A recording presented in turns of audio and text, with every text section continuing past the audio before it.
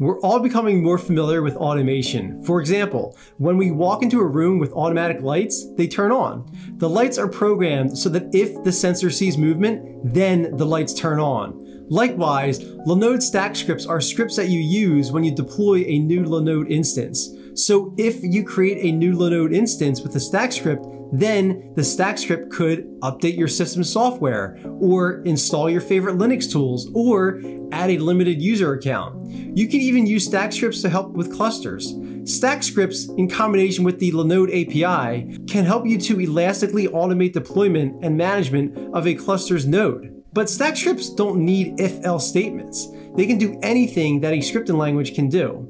Rather than manually doing tasks to a Linode each time, a stack script can automate these actions for you as part of your Linode's first boot process. So manually subscribe to our YouTube channel to learn more stuff like this.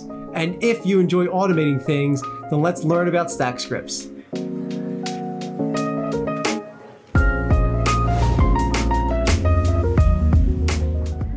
Now that we know what a stack script does, let's answer why you would want to use one. Well, it's because Linode makes it easy for you to consistently deploy the same services. One thing that makes stack scripts really powerful is that the community is able to share their own stack scripts with each other. So you too can search and add them to your Linodes. And stack scripts are really easy to write, as we'll see later. There are two types, account stack scripts and community stack scripts. An account stack script is one that is authored by you. A community stack script is a stack script created by a Linode community member that has made their stack script publicly available in the Linode Cloud Manager.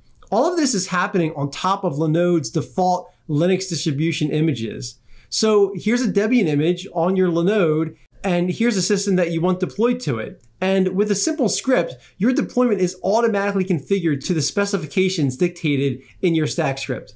All of these personal account and community stack scripts are stored in your Linode Cloud Manager and can be accessed whenever you deploy a Linode. So let's go into Linode's Cloud Manager and you'll see stack scripts on the left sidebar. Before I create my own, let's browse to see what others have created and shared. We can use a search box for something specific, or we can browse by user, deployments, last revision, and more. There's this kebab, which looks like an ellipses, to deploy a new Linode in one click. So what does the code look like? Well, look at this code. This checks to see what package manager is installed on the system, and then use that package manager to update the server with the latest packages. Without going line by line, what do you notice? If and then. It says, if this happens, then this happens. And the next section says, if that still didn't happen, then this should happen. Stack scripts can be in any language that has support in the default distro image. Like Bash is common, but Python and other languages also work. They just need the right shebang at the top.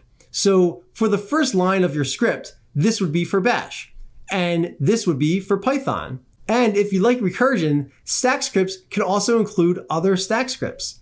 Here's how. Simply import the stack script on line one and then execute it on line two.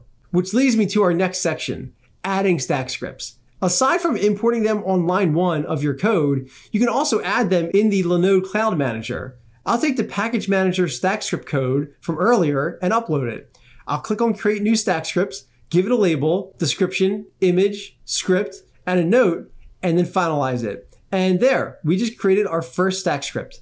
Deploying stack scripts. Okay, we wrote our first script and just uploaded it, so now let's deploy it with a new Linode.